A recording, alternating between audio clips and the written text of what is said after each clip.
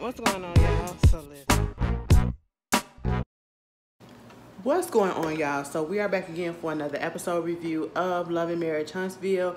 This season six, episode seventeen. Um, so ladylike. Let me just tell y'all right about now, I don't really have that much energy. My sinuses have taken me completely out. Uh, so I'm just trying to get as much done tonight that I can get done for y'all. I'm trying to catch up. Um, so this episode review probably will not be that long because again, I don't really feel that well. But let's just get into it. Um, the episode picks up where I left off with Melody talking to um Kiki about the Crime Stopper thing or whatever. And Kiki basically ain't sweating it. Even though she was doing all that jibber jabbing, real talking real fast and all over the place, Kiki not sweating what's going on and what's being said because um basically she's like i got my lawyer on my side and i got the truth on my side and people don't know everything that really happened. And once i'm vindicated then all the people gonna be saying something. Truth be told at the end of the first episode coming back last week they said that you know um, she has not been charged with anything yet. Um, so at this point we don't know what's going on. But honestly when she said mel was like was that you in the video? I cannot say nothing because um we, we went under legal stuff. I said, you know what, Kiki, you keep on saying that plead the fifth type of stuff because that is what I'm hearing. And um, you know, you do what you got to do. That's gonna protect you. Okay. Honestly, I feel like that was her in the video. I don't know exactly what was going on. I don't know what was exactly taken and how involved or whatever. Honestly, the first time I heard anything about Kiki being on Crime Stopper or anything happening in that sense with her in that way was when I seen the preview for the um, mid-season finale. That's it, the mid-season. That's it, you know. But um, Melody just want her to get herself together. That's basically all. Um, you know, because she even told her that, you know, Tiffany brought it up and she was really confused about the fact that Tiffany brought it up because she thought her and Tiffany was somewhat okay and made amends and all that stuff. And at this point, we just realized that Kiki and Tiffany are just not meant to be friends with each other. Cordial, cool. But friends in the same circle, not necessarily. And that's fine. And I just want them both to wake up and realize that. Just because y'all on the show together don't mean that y'all really have to have any association. Doesn't mean that y'all have to be cool with each other or anything like that. Y'all could be cordial. You don't have to have drama. You can stay out of each other's business. But of course, we know that that's not going to happen. Because Tiffany is all up in everybody's business, okay? Um even though Tiffany did invite Kiki to her, uh, you know, baby reveal, which I was surprised by that. Maybe it was in the contract or whatever, but if I'm so concerned about somebody coming in and stealing something out my house or stealing something from the place where I'm um, putting stuff together for my little gender uh, baby reveal or whatever, I, I wouldn't invite them. If I got all this negative stuff to say, I just would not invite them. And I just don't understand why people keep playing with these reality shows. Can we get some real reality sometimes? Because you cannot say, in my honest opinion, that you are okay with being around someone just as long as they don't take no locks or they don't take no centerpiece and all this stuff. If you're okay with bringing being be around somebody and you know you're okay with them, why are you constantly judging? Because that's what she does. Granted, Kiki does stuff or Kiki has something that people are talking about, understandable. But nobody on the cast was really talking about it like that in such a negative, negative, negative way as if Tiffany was. And we know where it's coming from from Tiffany. Tiffany don't really like Kiki, okay? And that's just what it is. I'm just like, be real, don't invite the girl. And Kiki, I wouldn't accept it if she invited me. What we found out is that she didn't show up. I don't think she showed up to it, even though she said she would um, Tiffany and uh, uh, Stormi was actually talking because Stormi is helping throw the gender, the baby revealed or whatever. And, um, you know, she said she invited everybody, including Tiffany. I mean, yeah, including Kiki. And, you know, she said all of what she said about that. Anyway, who cares? That that that just did it. If I'm okay, like I said, if I'm okay with somebody, I'm not gonna throw shots at them, especially when they're down. You know, if they really didn't do anything to me, I'm still not going to throw shots at them even when they're down. You know what I'm saying? And that's literally what she do. Throw shade at people and all that stuff. And I, I, I don't know. Some shade is good, but some shade is just like, what's the point? And at this time, what's the point? Meanwhile, you know, Kiki said that she was she she was clean. I know people gonna think that I'm not clean and I'm not, uh, I'm, I'm clean. I said for real, no shade. I ain't coming. In, I, I'm I'm just really asking the question. Are you sure? Okay, just making sure. But at the same time, you know, she did invite Tisha. Tisha is the only one that has not RSVP. And, you know, she still got an issue with Tisha. At least Tisha still got an issue with her. And at the end of the day, their their issue is very minimal and very minute. Okay, you didn't get a chance to speak at the Black Expo. You was a part of the uh, comeback group, and who cares? At this point, I wouldn't even want to be associated with it because it's so. I only heard negative things about it instead of the positive. So, you know, can we just move on from it? Moving on. Um, Stormi had asked her how everything's going with the baby ever since she um, had the baby and basically Tiffany is stressed out. She got to worry about her other two kids. You know, Lou has a son, she has a son. They're like teenagers. They're about to start school again. Got to make sure everything is okay with that. All of them together, plus the baby that needs 24 hour care, you know, all of this stuff. And Lou is out on the road and he's not home helping nothing. So basically, she's going through a lot. Could possibly be going through postpartum depression.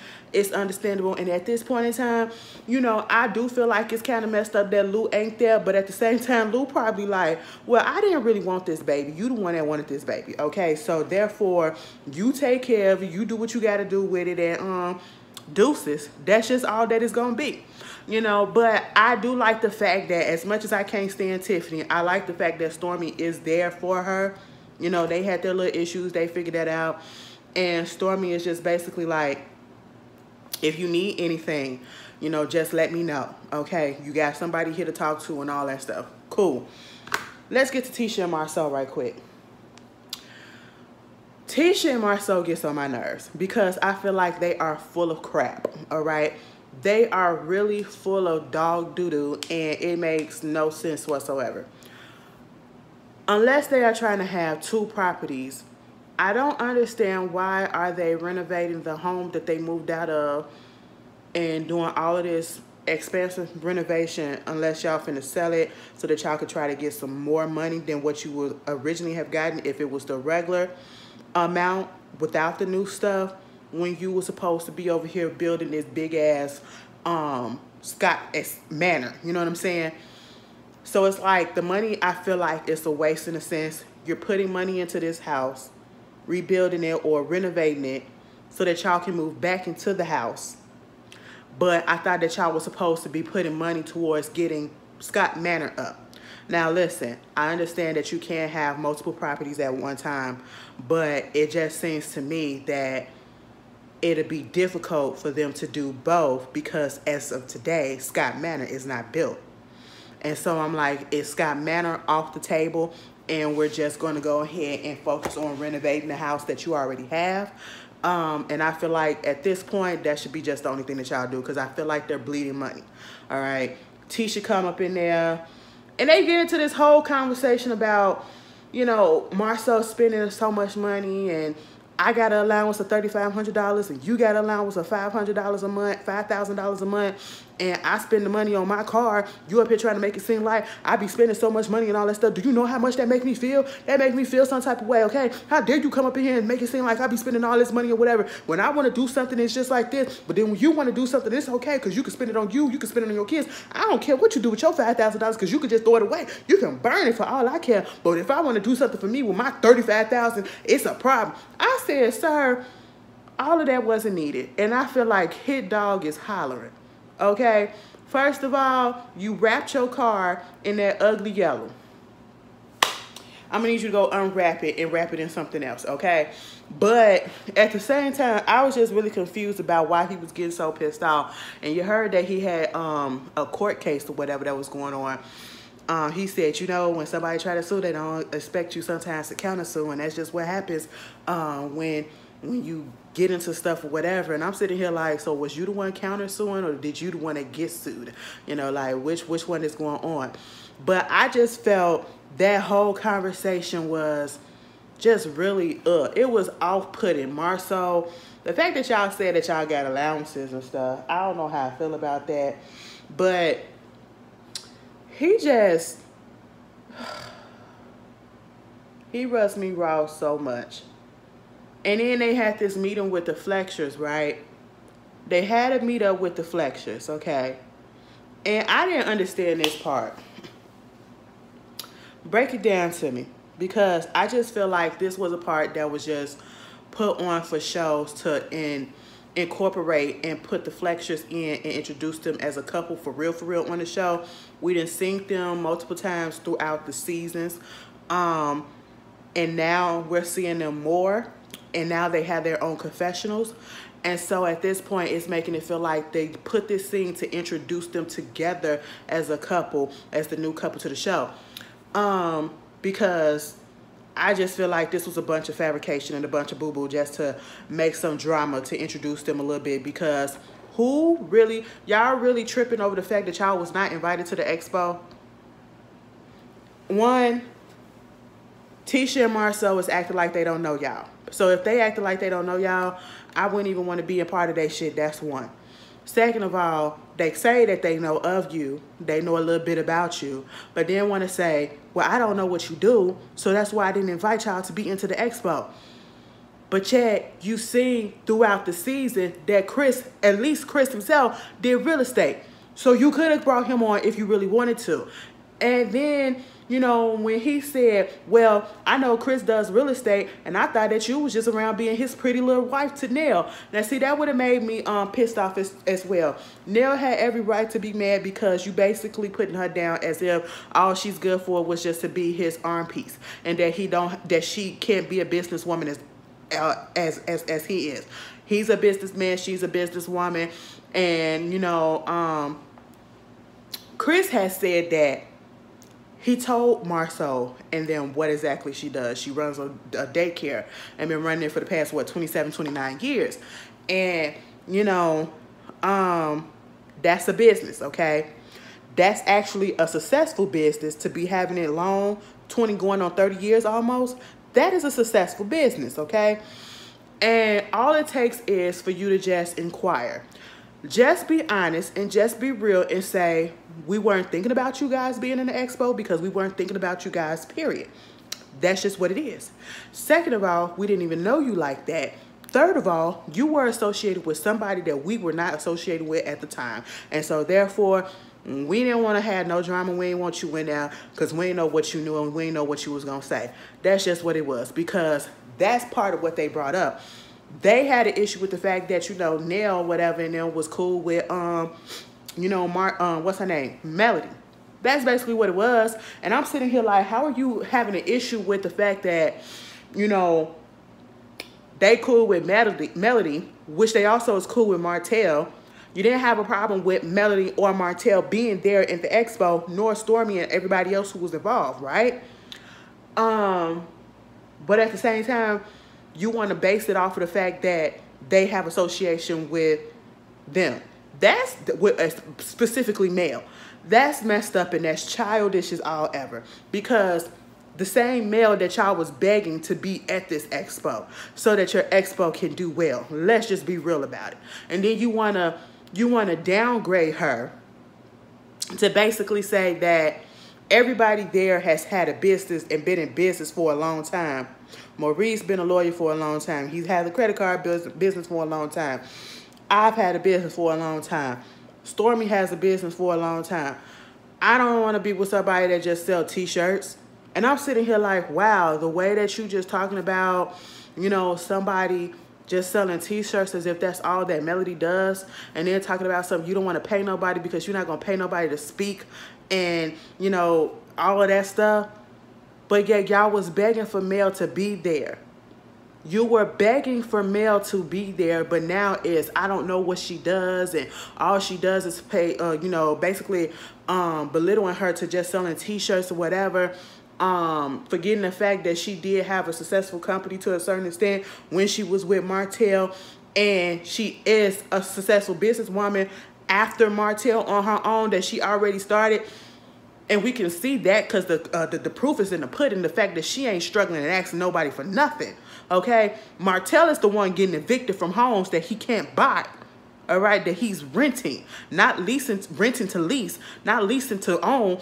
He's just renting. Okay, And ain't nothing wrong with that. But let's not let's not let's not let's not downgrade this person. It just felt very fucking sexist and misogynistic. And to do that, it made me mad. Oh, I'm so irritated. Cause I cannot I have not felt this way in a long time, y'all. In a Oh, and it's that time y'all hear in my voice. and I have post-nasal drip as well. So that's, oh my God, I'm just so messed up right about now. But anyway, it pissed me off to hear them say that about Mel. And y'all know I'm not the biggest Mel fan because truth be told, I'm not nobody fan on this show. That's just 100%. But I can give uh, uh, unbiased criticism, props, and all that stuff where it needs to be. But to see Melody sit there talking to Kiki and for Kiki to feel some type of way about the fact that Melody was the only one that actually came up to her, actually reached out to her to see how she was doing after that whole Crime Stopper thing, and that Tisha was the one who came to her last about it, and that she felt some type of way because she's like, when you was going through your stuff with Marsau, or when Marsau was going through his stuff, or whatever, uh, anytime you're going through something, I'll reach out. And even Melody was taking up for Tisha Melody was like, well, did you reach out to them when Marsau was going through what he was going through or whatever, the court case or something like that? And she was like, I don't reach out to Tisha about nothing concerning Marsau, but still, I didn't reach out to her about nothing, you know. And Mel was like, exactly. You cannot expect her to reach out to you when you haven't done the same thing to her, okay? And plus, you also have to understand that y'all are still in the process of trying to rebuild y'all cousinship, rebuild y'all friendship. And so, therefore, yes, she might not be ready to just go ahead and be like, oh my God, Kiki, you okay? I respected Mel for saying that because that is true. That is true. When you're in a when you didn't went through so much with a person and you didn't got so much drama and y'all in that process, very early stages of trying to uh, amend stuff or whatever, you can't expect them to always be there in your corner and jump up in your corner and all that stuff right away like they do or did in the past because it's just not going to happen. You know, you guys are still building. You have to be patient or whatever.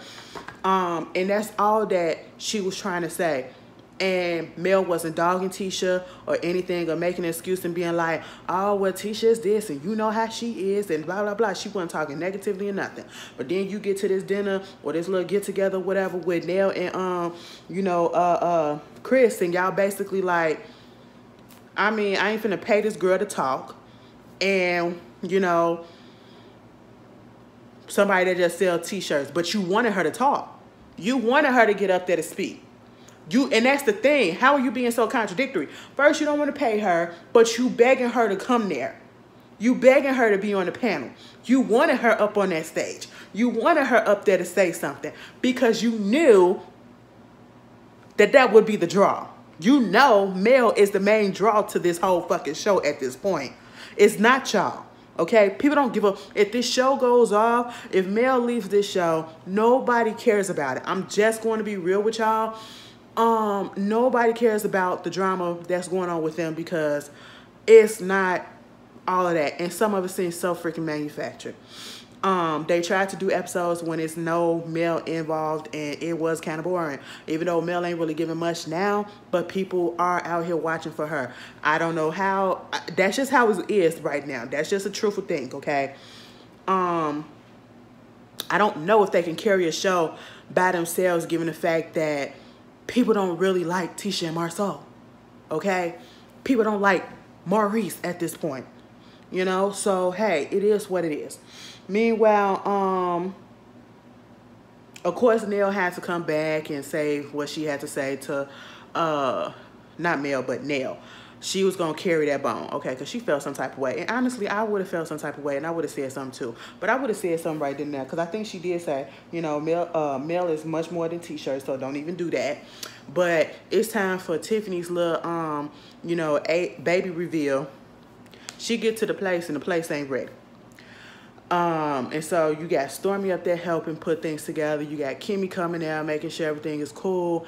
Uh, they trying to figure out if Tisha gonna come. Tisha didn't RSVP. Mel shows up. Mel was like saying hi to everybody, and she was like, "You heard me say hi to everybody." And when I said hey to Stormi, she was acting like she was um looking up in her purse or whatever. And so therefore, that's somebody that don't really want to say nothing. So you know, don't make it seem like I didn't acknowledge you. I said, let it go. Um, just just whatever. Cause then they start talking. Mel let it slip out that she had already seen the baby. You know. Um but then they get to talking about the fact that Tisha didn't RSVP yet. So they don't know if she's gonna come and that whole issue. So at that point in time, uh, Melody didn't know the drama that happened at the expo uh, when it was prior to getting ready or whatever because she wasn't there. She only came in towards when it opened up to the public. And so, you know, they talked about the Tiffany issue with Tisha and the expo, and then they talked about Stormi's issue with Tisha, uh, Tisha and the expo and Marcel and the hundred dollars and all of that stuff. And Kimmi said she didn't even know that they had to pay it until Maurice said that they paid it already. So she was in the dark as well. We gonna find out next week that it was other people that didn't have to pay. and Maurice gonna get mad. He said, you know what, I'm gonna have to talk to Marcel about this. Cause y'all doing bad business at this point. Meanwhile, they got that off the whatever. Nell comes in and she sits down and talk to um Melody and tell her what was said. Yeah, girl, I went to we went to go um talk to Marcel and Tisha to see why we wasn't at this black expo. They was acting like they didn't know me and all that stuff and know that I was in the daycare and that we was business people and all this stuff and whoa whoa whoa. But then they start talking about you, girl, talking about some we ain't paying nobody to speak and all this stuff and you know, up there to speak about what's on t-shirts and all this stuff. And this is what set Mel off and rightfully so. And somebody could possibly say, oh, y'all was just they doing too much or whatever. But no, this is Marcel. If you've been watching this show from the inception, you know that Marcel is very misogynistic, very sexist, very old school thinking. You know, basically, if he had it his way, women would basically just be in the house taking care of the kids, and that's it. They wouldn't be working, wouldn't be doing nothing, you know. Um, and that's how he treats a lot of people in his life. We saw how he treated his wife, and it took forever for him to elite, let her to even come into the office with him. You know, took her for took him forever to even let her, and the fact that we had to say let her um, continue school or whatever. You know what I'm saying? And then for him to basically downgrade what it is that Melody do to just some t-shirts or whatever. And I'm so glad that Mel said, well, your business has t-shirts. Your wife sells mugs and got mugs and stuff, whatever that she does. Okay, so what business does she do? Is that all that y'all do? Okay, I had my business since 2008. Don't try to play me, all right? And I am never finna try to get into something and want to speak at somebody's expo who is in a five point something million dollar lawsuit for fraud. I said, checkmate. That's all you got to say right there.